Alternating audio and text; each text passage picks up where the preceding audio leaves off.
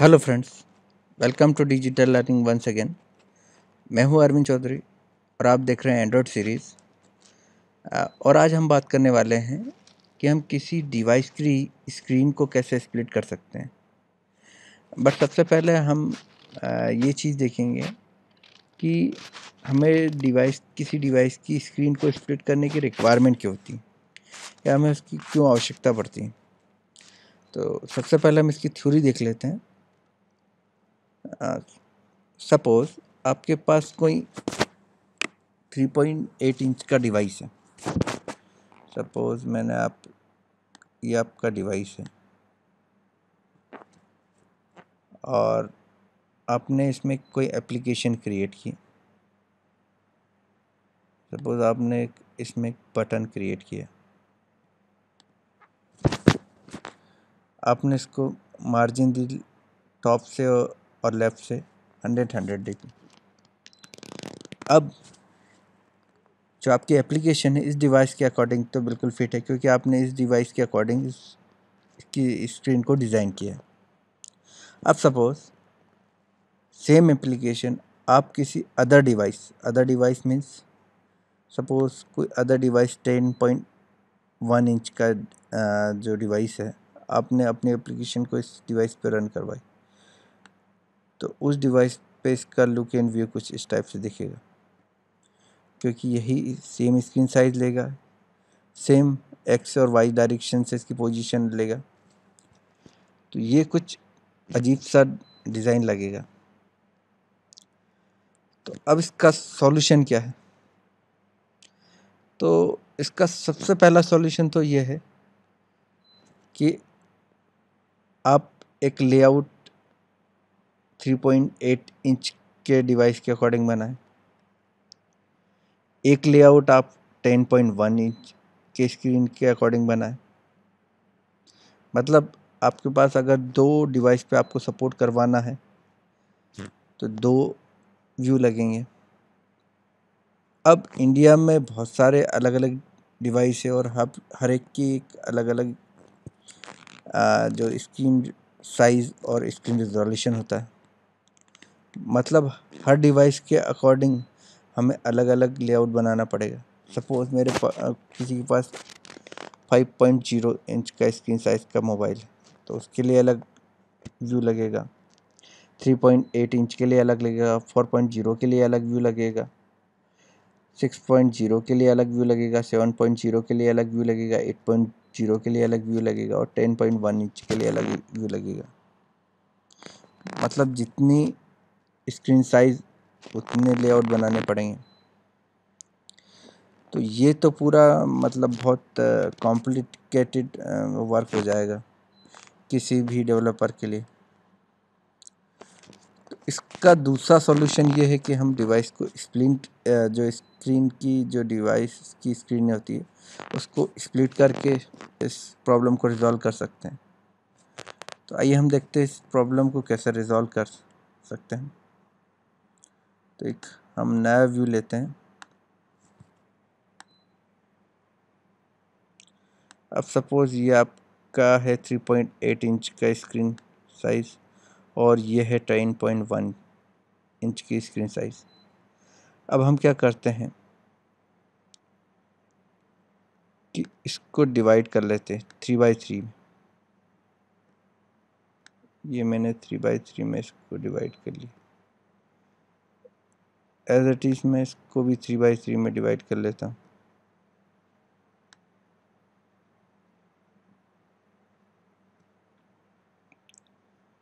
Same ये ten point one में भी कुछ इस तरह व्यू होगा इसका।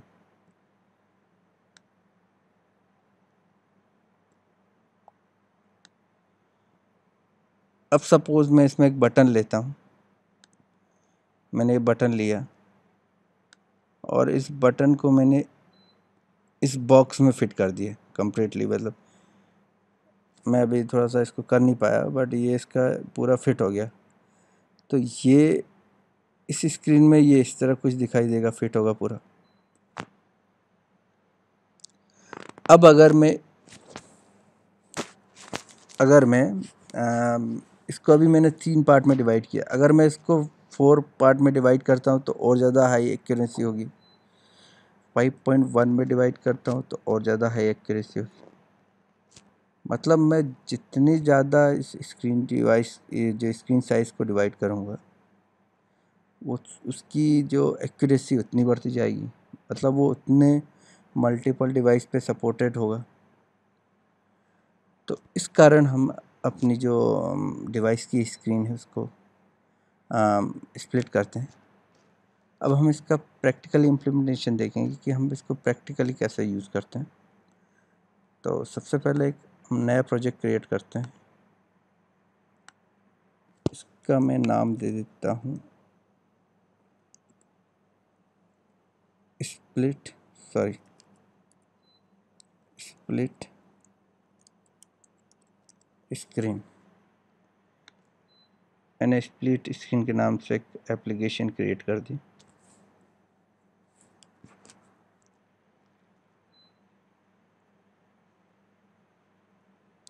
अब ये मेरा डिफ़ॉल्ट जो लेआउट है, अब मैं यहाँ पर इस लेआउट को चेंज कर देता हूँ, इसको मैं लीनियर लेआउट रख देता हूँ।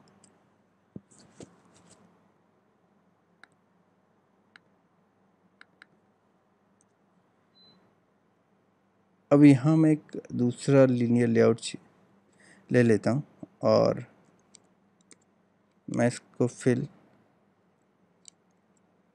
और इसको भी मैं फिल पैरेंट कर लेता हूँ। और मैं इसका ओरिएंटेशन ले लेता हूँ। वर्टिकल क्योंकि मुझे इसको वर्टिकल डिवाइड करना है या वर्टिकली इसको स्प्लिट करना है।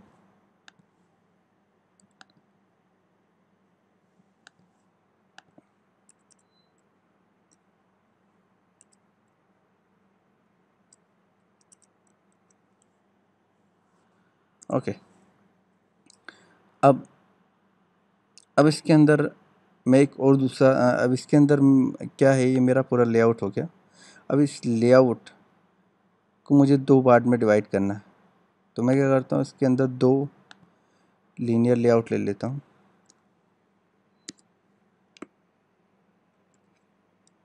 अब मुझे इसको वर्टिकली डिवाइड करना है।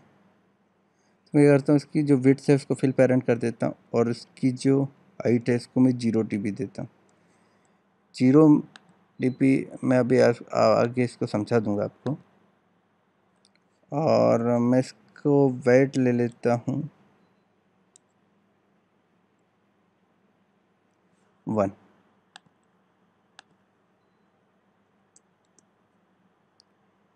सिमिलरली मैं दूसरा लेआउट भी ले लेता हूँ।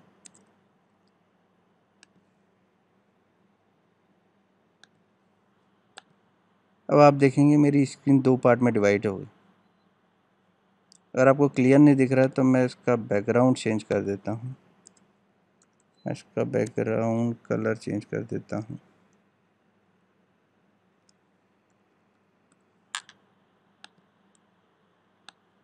और इसका मैं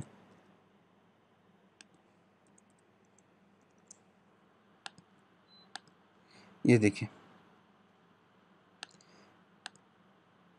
अब अगर मेरे को इसको वर्टिकली सपोज़ मैं इस पार्ट को वर्टिकली डिवाइड करना चाहता हूँ दो पार्ट में तो वो हम कैसे करते हैं? तो मैं करता हूँ,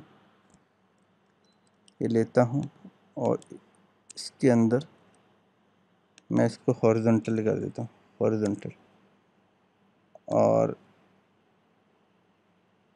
इसको मैं ज़ीरो डीपी देता हूँ। Sorry zero DP.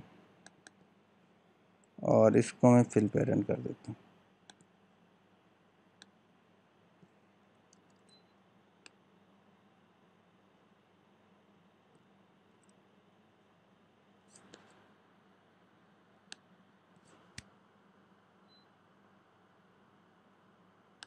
शायद कुछ गड़बड़ हुई है इसमें एक मिनट।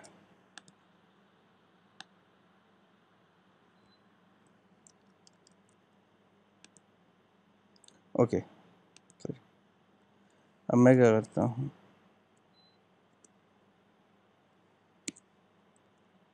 अब इसके अंदर मैं कॉपी पेस्ट कर देता हूँ। अब मैं क्या करता हूँ इसको? हॉरिजॉन्टल कर देता हूँ। और इसको मैं ज़ीरो डीपी ले लेता हूँ। और इसको फिल पर रन कर देता हूँ। इसको यहाँ कॉपी पेस्ट कर देता हूँ। अब मैं इसका कलर, बैकग्राउंड कलर मैं इसको वाइट रख लेता हूँ।